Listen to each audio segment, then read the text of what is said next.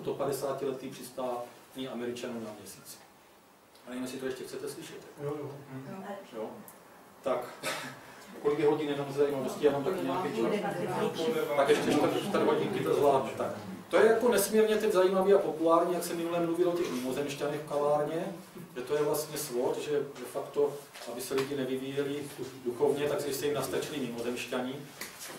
Tak s tím měsícem je to zajímavý v tom úhlu pohledu, že ono totiž, my už nevíme, co je pravda a co lež. A fakt nás to svádí k tomu, že ta mašinérie těch určitých informací, skoro trolů, jak se tomu říká, je tak velká, že oni nám vysvětlí, že ti američani ani na tom měsíci být jako nemohli. Že zkrátka to technicky prostě fakt narafičili a že oni tam nebyli a že to je celá chiméra jenom proto, aby američani jako vyhráli boj v tom, v tom eh, válčení, dobývání toho vesmíru. To je jako hmotné vysvětlení, takový ve velké stručnosti. Ale duchovně, duchovně nás to svádí. Třeba když si budete studovat antroposofii, pozorně poslouchejte, dozvíte něco z antroposofie. Že Steiner tam říká, že člověk není schopen překročit éterickou oblast země, protože když by překročil tu éterickou oblast země, tak uschne. Jak prostě tak, jak když vám to, jako přirovnání, že usne, tak jak když vám odejde to eterické tělo, rozpad, začá, začíná se rozpadat, pak se vám rozpadne i to fyzicky. Takže vlastně, jakmile se překročí ta hranice té eterické oblasti země a kolem měsíce už je hranice astrální, že jo, protože tam už je astralita, že tam vlastně být ani teda fakt nemohl. Že by ten člověk nebyl schopen tam vůbec jako doletět. A to vypadá nesmírně, já jsem tak jako se tím zaobíral taky, že to vypadá logicky. Že on tam fakt jako není schopen jako doletět k tomu ty argumenty, ty hmotný, že prostě není možný překročit ten, ty pásy, já nevím, jak to přesně jmenuje, Van Halenový pásy, že to nejde, jo, nebo že jako spousta jiných argumentů, že na tom měsíci, proč to fyzicky ta vlajka tam nemohla vlád. Oni všechno vyvrátili jako hmotně zase ti příznivci, takže to nebyla berná mince, ale už mě to hodně taky vyklalo, že jsem jako taky řekl, nevím. Ale neříkal jsem ani dlouhý leta, že teda vím, že tam nebyli, ani jsem netvrdil, že tam byli, ale furt jsem to jaksi se snažil zpracovat. A když jsem se to snažil zpracovat, a ty, ohlasy třeba, co byly na tom antroposofickém fóru, ty vlastně byly velmi pěkný, ty byly v dobrým duchu, že se tam podobně jako ti lidé tím zaobírali. Jsem to tam četl, že to vypadalo, že to tak jako fakt asi bude, že tam nemohli doletět. Jenomže, teď si představte, že ta samotná antroposofie, ten Steiner na to dává odpověď, ale nesmíme ji brát tak, že si to vlastně přiřadíme tam, kde to zrovna momentálně cítíme. Takže když Steiner řekl, že člověk nedokáže překročit tu eternou oblast země, že by pak usknul, tak samozřejmě, on neřekl nic špatně. Ale já se ptám, na jak dlouho? Stejně jako když člověk zemře, tak jsme si řekli, že eterické tělo se rozpadá až po tři a půl dnech. Já sám jsem zažil stav, kdy prostě se dokáže eterické tělo vytrhnout na chvíli. Na chvíli prostě z toho fyzického a kdy máte ty eterní oči, aniž byste, vidíte se prostě ležet na té posteli, tak je klinická smrt, to se dá zažít dělým vědomí. Takže i tehdy může vystoupit to eterické tělo z toho fyzického, ne že ne. Tedy, co tím chci říct? Kdyby ten kosmonaut, přátelé, byl na tom měsíci dlouho, tak tam fakt uschne. Tak jak to ten Steiner myslel. Ale když tam byl jenom krátkou dobu, tak to, to eterní tělo to normálně přežije. Takže v tom případě už jde o tu techniku. Jestli to ta technika dokázala, oni říkají, že to byly jakýsi skořápky, které to nemohli vydržet, ale prosím vás, já nejsem žádný vědec, takže já vám na toto řeknu, že toto já z hlediska technického vědeckého, jak byste programátor neumím programovat, řeknu nevím. Ale vím to, že duchovně antroposofia Steiner nic neřekl proti tomu, že by nemohli být na měsíci, jenom řekl, že by tam, ne, ne, no, neřekl ani dlouho, jenom řekl, že nemůže být eterní tělo prostě překročit hranici země. Ale podle mě může, když rozvíjím antroposofii, ale jenom na nějakou dobu. To byla první úvaha, která mi začala se přiklánět k tomu, že tam sakra mohly být. První. A co jsem si teď všiml? To je takový krásný na závěr. To je jak s tím Notre Dame. Škoda, že tady není Romana, která vlastně tam nebyla, moc se jí to líbilo, tak vlastně ty zase neuslyší něco nesmírně důležitého. Já jsem to nevěděl ještě do minulého týdne. Ale mě začalo zajímat, kteří lidi byli na tom měsíci. Protože už se, za prvé se málo lidí ví, že spousta lidí si dokonce myslí, jako já úplně zpočátku, když byla prvotní informace člověk na měsíci, že tam byli jenom jednou. Ale oni tam nebyli jenom jednou. Oni tam byli, já teď přesně nevím, ale možná to tady někdo bude vidět několikrát. Tak jsem si říkal, kdyby chtěli manipulovat boj o dobývání vesmíru, že jako byli první na měsíci, tak za ty strašné prachy to zmanipulují jednou. Možná teda dvakrát, aby se neřeklo, že to zmanipulovali. A když by hol byli teda pořádní, tak třeba i třikrát. Ale rozhodně ne sedmkrát, teda přátelé, nebo ještě víckrát, teď přesně nevím, to bylo víc než pětkrát určitě, to, to, to, to přistání tam, protože tam bylo mimo jiné, a to je zajímavé. Tam bylo 12 kosmonautů, už to číslo, 12. To ještě by zase někdo řekl, to je jenom náhoda, oni na nás něco hledají. Ale já jsem se díval na ty kosmonauty, i na to, jak oni se chovali, jak reagovali na určité věci. Tam byly takové situace, že Buzz Aldrin, to byl první s Armstrongem, že jo? tak za ním přišli ti, co to furt chtěli, ty, ty jejich odpovědi, jestli teda budou na, Bibli, na Bibli přísahat, že tam byli. A oni za tím Aldrinem přišli z toho Bibli a on mu dal pěstí. Tomu. A tomu, co za tam přišel. A to prej měl být důkaz, že Aldrin to nevydržel, a byl prostě nedokázal říct pravdu, takže ho v té rozčilenosti udeřil. Ale on ho taky mohl udeřit, protože už to nemohl snést už prostě ta emoce, nikdo není dokonalej, tak prostě Oldrin chlap jak hora, furt ho někdo otravoval, tam přišel z Biblí, prostě, on je právě hrozně věřící ten Oldrin.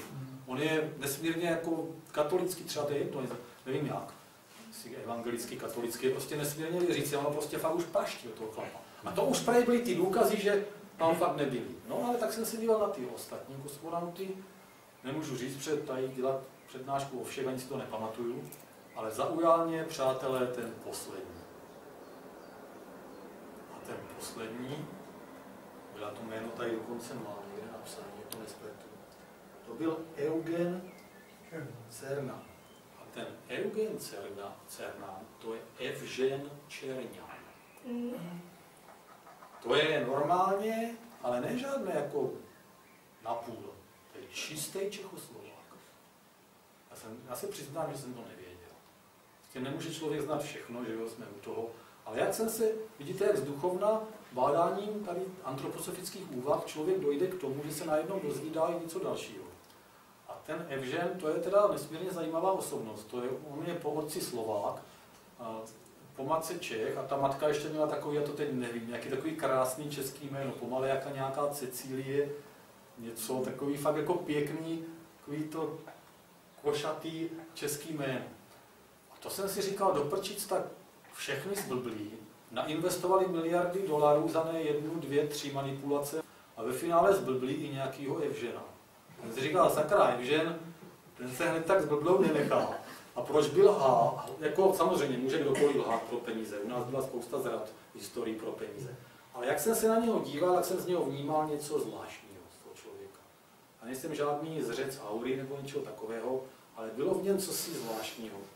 A tak jsem si říkal, ale se podívám na něho teda blíž.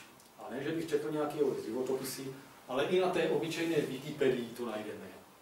A tam je to popsané, co on udělal. A on, přátelé, na, na ten měsíc přivedl československou vlajku. Ale nám všechno vymazali komunisti. A oni nám nejenom, že nám to vymazali tehdy, že se tam o tom nesmí mluvit, no, že tam teda fyzicky stala ta americká, že jo, českou tam zapíchnout nemohli, protože to by zase nepřežil američan, že jo. To je američan, kdo je víc. Ale on tu vlajku měl v té lodi, on prostě na tím měsíci ta vlajka stála, byť tam nebyla zapíchlá, tak doputovala prostě československá vlajka na měsíc. A když takový člověk to bere jako velkou hrdost, tak do prčic, tam už sakra lidi nejde o prachy. Jo, takže on prostě tam dovezl tu vlajku, ale to ještě nekončí ten příběh. On normálně navštívil Československo v dobách totality. Prostě ale on už byl taková persona, že ho nemohli tak komunisti jenom jako do, zadu, na, do zadku na letištu a poslat do zpátky. Normálně prostě vystoupil, obrazně řečeno, a chtěl dělat do světu. No ale to byly takové persekuce, že byli všichni, novináři žádný nemohli nic dovolit, to bylo zavřený. Prostě nikdo neměl žádnou možnost. A on jediný, co dokázal, on tu vlajku jsem přivezl k nám zpátky. A on jediný, co dokázal, tak se dokázal propracovat nějakému vedoucímu snad akademie věd, nebo někomu se jako dostal a ten s ním nějaký rozhovor a něco udělal. Ale v médiích se nesmělo nic říct, všecko bylo zakázané, pomalé ani se nesmělo mluvit, že tady byl. A přátelé, to jsou pro mě důkazy toto. Ne nějaký keci, o tom, jestli tam někde na měsíci byla gravitace taková nebo onaká. Jestliže někdo udělá takovouhle vůli, vypěstuje, že toto dokáže, že riskuje, víte si, že on riskoval, to nikdy nevíte, on sice byl persona, takže se cítil silný, měl, měl nesmírnou odvahu, nepředstavitelnou, když se semka vydal a chtěl tady ještě o tom mluvit a dělat o, světu. Takže toto je pro mě důkaz, že to je čistý a že tam byli. A to ještě taky nekončí. Oni ho sice pak jako vypakovali, nebo on musel se vrátit, že jo, to nikdo nechtěl. Tak on se vrátil, ale samozřejmě už jako velmi, teď nevím, kolik mu bylo, pomalé 80 tak když přišel právě rok 89, vidíte spousta krásných věcí, které až dneska lezou na povrch. Víc se je dočteme na tom chytrým internetu. Když nevíme, tak nevíme, nebo nemáme tu vůli, tak on vlastně se vrátil sem znovu s tou vlajkou. Tu vlajku snad tady nechal, tu už přesně nevím, někde si to tam najdíte. Jo, takže on se sem vrátil, udělal, oni mu udělali něco málo, jako nějaký promotion, že někde on dokonce, to je strašlivá věc, on letěl vrtulníkem, se někde přesunovali, představte si, že ten vrtulník normálně regulérně se zřítil. Jo, on normálně spadl. On to přežil. A teď mě překvapilo, že teď si, on se sem vydal. On tady přišel pomalem ale umřít, jako znovu. Že teda ne, že by ho zavřeli komunisti, ale za doby svobody už relativně s ním spadne vrtulník. On to zase přežil. jako zázrakem. A vrchol všeho byl, že jsem se tam dočetl, že to nebylo poprvé, že on už jednou někde jinde ten pád toho vrtulníku přežil po druhý tady. To je kdyby to nesmrtelný, nesmrtelný borec Evžen Čer, Čerča Čerňan, jako se vrátil, přežil to, byl tady nějakou dobu, měl nějaké zranění, jenom nějaký normální a vrátil se zpátky domů a hotovo. Jo. To je krásný závěr. No, a to je ta vůle, to je ta naděje. Jo, všechno, to tam je. Vy něco ještě? On to byl už druhý, jako v podstatě Čechoslova plukovník Frank Borman, který teda tady už byl taky předtím a myslím, že měl nějaký přijetí. On byl tak ze čtvrtiny Čechoslovák, bych řekl. Už se to tak přesně nepamatuju. Mhm. K té havárii toho vrtulníku, no ono to nebylo tak zlý, to bylo někde u Pelhřimova. Remek to taky přežil. No. Jestli tam byli nějací mrtví, nevím, spíš ten vrtulník... tam nebyli, myslím, to by tam psali. Ne, spíš ten vrtulník přistal autorotací, asi nějak tvrději dopad, ale nebylo jo. to tak jako... No je to ostuda samozřejmě. Jo? Jinak teda, co se týče, když teda ti američani v červenci 69, myslím, to byl celonoční přenos v televizi, už teda normalizující se, ale spousta lidí, my jsme ten televizi ještě neměli, tak jsme byli někde u sousedů, byli jsme u toho do noci, to byla normálně oficiální akce. Jiří Mrázek to reportoval, myslím si, že Karel Pasner tam u toho taky byl. Prostě samozřejmě... Eh, Ani Rusové to nespochybňovali, že jo? Ne, ne, kdyby to opravdu tam nebyli, tak to na to Rusové přijdou samozřejmě, na to ty lidi měli a on má tím to o hlavu. To prostě no. jako s tím, že s tím nějací teda popírači přišli až... Ale oni tvrdí, že to byla dohoda nakonec, ti konspirátoři právě. Že oni vlastně byli, to je až tak konspirační teorie, že vlastně byli domluvení, že oni jim to jako povolí, tu faleš, z důvodu, a teď si k tomu vymysleli nějakou eskapádu, rozumíte mě? Prestižní záležitost, takovou dohodu by Rusové nikdy neuzavřeli a kdyby, tak by okamžitě porušili. To prostě není možné. Jo? Ale prostě toto, toto jako vymyslet, tak to prostě, to je nesmysl, jo. Takže, Takže pěkný zakončení, přátelé, děkuji vám. Já bych Ještě se hlásíte. No, dodal to, že poprvé jsem se s touto šílenou bludnou teorií potkal v emigraci u hnutí Hare Krishna, kde jich guru, guru Šrila Prabhupada tvrdil, že to prostě není možné, protože ano. pán Krishna by nedovolil. Ano. No, v případě ještě svého času to tvrdili adventisti, protože sestra prorokyně Vajtová tvrdila, že jsme tady na téhle zemi svazaní až do druhého příchodu Ježíše Krista. Tím pádem nelze se odpoutat od této planety. Především se mě někdo zajímat tím, kdo tuto kampaň platil. To je základní otázka. Čí prospěch a kdo to platil? To bychom mohli udělat samostatnou přednášku o konspiračních teoriích, jak to vlastně je. Že nakonec zjistíme, že něco placený je, ale něco v těch lidech paradoxně roste samo, že ti lidi už sami jako to tvoří, že oni jsou zdeformovaní. Přátelé, budeme muset tuto diskusi ukončit. Ona už se z duchovních vod přebíhá do takových konspiračních teorií a podobně.